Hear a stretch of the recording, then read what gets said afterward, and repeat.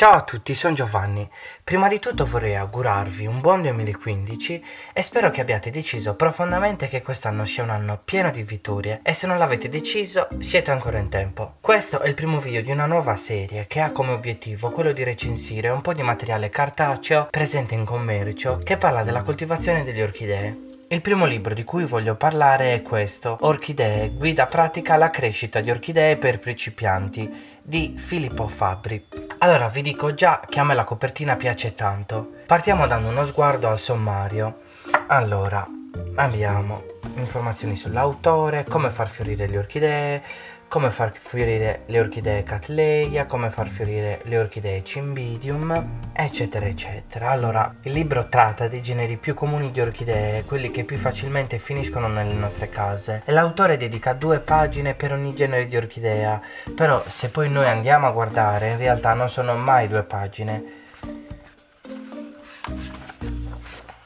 In meno di due pagine L'autore cerca di parlare di tutto, come quando annaffiare, concimare, rinvasare, parla della luminosità e dà anche qualche consiglio su come farle rifiorire. C'è da dire che in meno di un'ora questo libro si legge tutto e se si legge tutto di un fiato appaiono ancora più evidenti le ripetizioni, ovvero frasi preimpostate che vengono ripetute per tutti i generi. Alcuni punti sono un po' confusionari.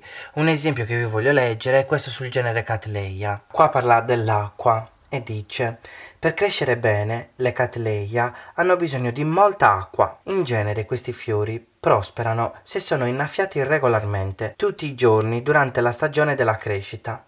In inverno possono essere innaffiate con minore frequenza. Quando si dà l'acqua, come con tutte le orchidee, è essenziale che l'acqua scorra via dal vaso, in modo che il terreno si asciughi tra un'annaffiatura e l'altra. Questo perché le orchidee sono piante epifitte il che significa che crescono in cima agli alberi e sono abituate ad asciugarsi completamente tra una pioggia e l'altra nel loro habitat naturale. Controllate sempre il terriccio e assicuratevi che le radici non stiano marcendo e che non si dia mai troppa acqua alle vostre catleie. Che non si dia mai troppa acqua alle vostre catleie e all'inizio ci ha detto le catleie hanno bisogno di molta acqua tutti i giorni però poi ci dice essendo epifite è importante che si asciughi tra una fiatura e l'altra. E diciamo che è un po', per me è un po' confuso perché se tu mi consigli di eh, annaffiare ogni giorno nel periodo anche, anche, se è il periodo vegetativo diciamo di crescita come posso permettere al substrato di asciugarsi se do acqua ogni giorno? Non si asciuga poi alla fine le radici mi marciscono. Quindi diciamo che non mi sembra un consiglio Buonissimo. Già, io di base, diciamo, non sono molto d'accordo con il consigliare ogni quanti giorni va innaffiata un'orchidea perché le condizioni, il substrato, le condizioni della pianta in generale sono sempre differenti da casa in casa ed è veramente difficile azzeccare dicendo una volta ogni tre giorni, una volta ogni alla settimana. E sarebbe, diciamo, più opportuno invece dare eh, un'idea, cioè dare tutte le informazioni riguardanti eh, quella pianta, ciò che quella pianta ama e poi ragionare sull'ambiente, sull'ambiente di coltivazione e di conseguenza decidere ogni quanto annaffiare. Quello che manca a questo libro secondo me è una struttura forte con una buona introduzione. C'è da dire però che alcune informazioni sono buone. Diciamo alcuni consigli sono buoni, però allo stesso tempo sono sicuro che se un principiante dovesse leggere questo libro e seguirlo alla lettera, per coltivare le sue orchidee, quasi sicuramente alla fine non molte resterebbero in vita. Se io oggi, che non sono un esperto, dovessi scrivere un libro su come coltivare le orchidee e trattare gli stessi generi con le stesse pagine, sicuramente scriverei un libro migliore. Quindi vi ho detto tutto.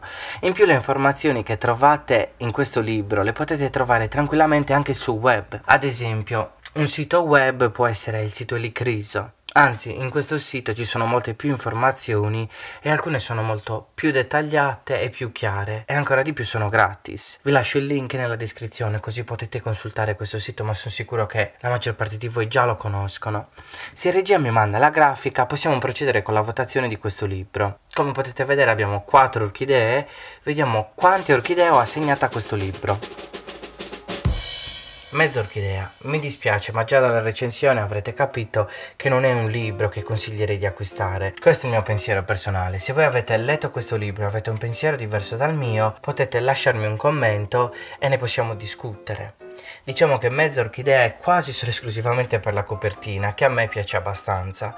L'ultima cosa che vorrei aggiungere è riguardante il prezzo. Vedremo più in là libri che ho pagato un euro in più o anche meno di questo e che all'interno possiedono una marea di consigli utili e dettagliati.